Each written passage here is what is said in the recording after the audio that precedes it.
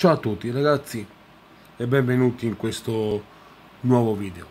Allora, con la partita Inghilterra-Ucraina che si è da poco conclusa, Inghilterra ha vinto 4-0, vittoria senza storia, si è completato il tabellone delle semifinali e quindi le magnifiche 4 che si affronteranno in semifinale il 6 e il 7 luglio saranno il 6 luglio che è martedì Italia-Spagna, il 7 luglio mercoledì Danimarca-Inghilterra.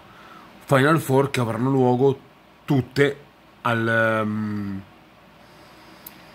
a, a, Wembley in Inghilterra e quindi saranno due partite molto molto belle secondo me perché anche la Danimarca che oggi ho visto ha dimostrato di essere veramente un osso duro, quindi l'Inghilterra dovrà stare molto attenta a questa Danimarca, perché ricorda molto quella che vinse l'Europeo del 92, dove tra l'altro, ironia della sorte, in porta c'era Peter Schmeichel, no?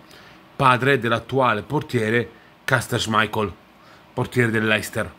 Quindi anche questo, volendo, può essere anche un... un um, come si può dire? benaugurante, diciamo, per i tifosi danesi. Ovviamente vedremo un po' poi quello che succederà, però mh, mm, strana coincidenza, no?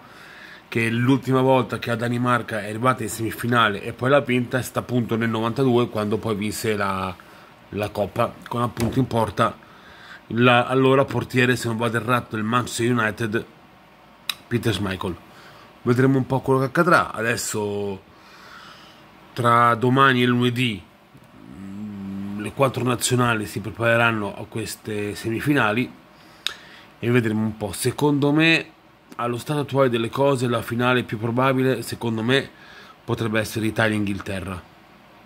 Poi vedremo un po' quello che accadrà. Chiaro, l'Inghilterra ha un vantaggio non indifferente che gioca in casa e quindi sicuramente per loro è un'occasione irripetibile, no? Poter alzare questa, questa coppa tra le mura amiche. Però Vediamo, vediamo, vediamo. L'Italia e la Danimarca e la Spagna proveranno in qualche modo a, a vincere la Coppa. Eh, anche se sono sincero, eh, io vedo l'Inghilterra favorita, ma per il semplice fatto che gioca in casa. Vedremo un po' poi quello che accadrà. Intanto ragazzi io vi saluto, vi auguro una buona notte e da parte di Bianco Nero fino alla fine forza Juventus sempre